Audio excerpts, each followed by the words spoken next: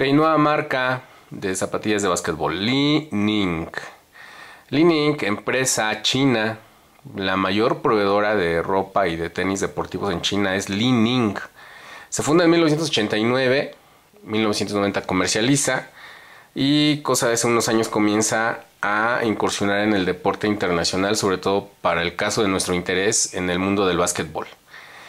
Eh, Li Ning, un medallista olímpico chino, es el fundador de esta empresa.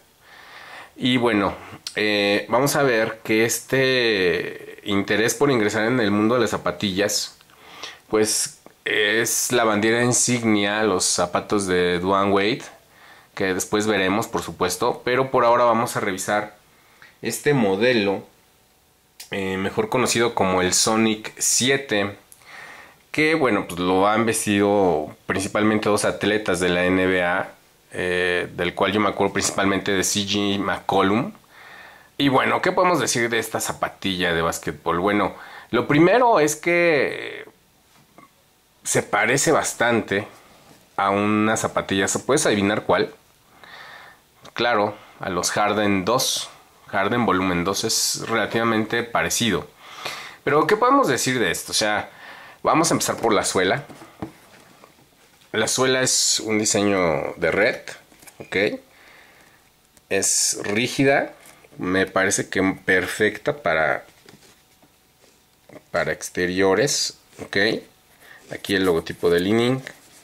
Lo interesante de esta zapatilla de básquetbol, pues tiene que ver con eh, el soporte o el acolchonamiento que tiene eh, en el cual pues puesto no puedes competir contra Nike o Adidas eh, cuando ellos ya están implementando el Cool Foam, el Turbo Boost o mm, el Zoom para el caso de los Jordan y que se implementan muchos otros modelos de Nike.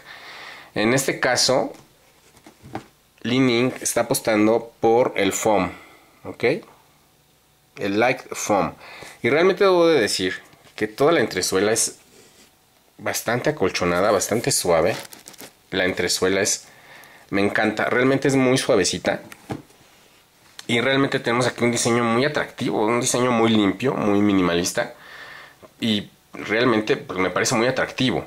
Vamos a ver ya en la parte superior de qué estamos hablando. Estamos hablando principalmente de mesh o malla en la parte frontal, pero me parece que es un mesh bastante rígido, o sea, de buena calidad, o sea, se ve que es durable pues esa parte. Eh, por la parte del medio tenemos este soporte que además de permitir eh, la respiración, pues es muy eh, ligero y flexible, si te das cuenta. Entonces, además del soporte, te va a dar la flexibilidad. En la parte de la talonera, pues tenemos ya el clásico soporte en la parte posterior, pero ya estamos hablando de piel sintética, ¿no? Vinil prácticamente.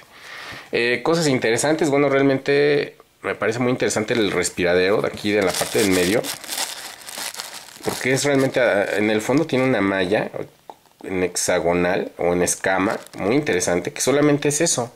El textil lo vamos a tener enfrente, pero en la parte de los laterales vamos a tener una malla muy transpirable. No sé si se alcance a ver la malla. Muy interesante esta parte. Por la estructura del tenis. Por lo tanto, eso te va a permitir mayor flexibilidad. En la parte de la lengua del tenis vamos a ver también nuevamente otro elemento de ventilación. Esta parte es... ¡Wow! Me gusta mucho que, que las compañías empiezan a experimentar con materiales nuevos y este es una especie de neopreno súper, súper livianito, súper, súper liviano y transpirable por supuesto. Y vamos a tener ya un neopreno clásico, miren cómo se estira. Este neopreno siempre es interesante porque te permite tener la sensación de que estás pisando una pantufla, porque es muy cómodo.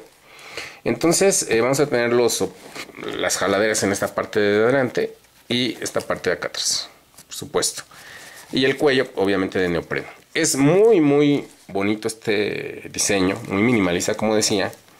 Viene aquí con su soporte para que lo guardes y le des eh, forma, no se te deforme el, el, tenis o la zapatilla.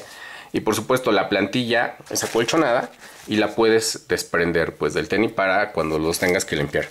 En fin, estamos hablando de un Una zapatilla de alrededor de 2.300, 2.400 pesos en promedio.